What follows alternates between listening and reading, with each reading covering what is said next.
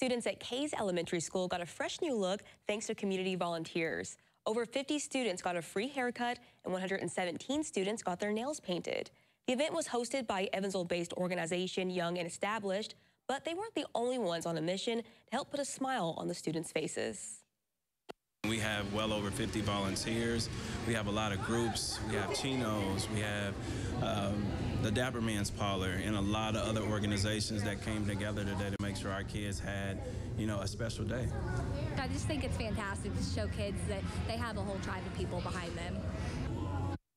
Organizers say it's important to provide these types of services to kids who may not always have the option available.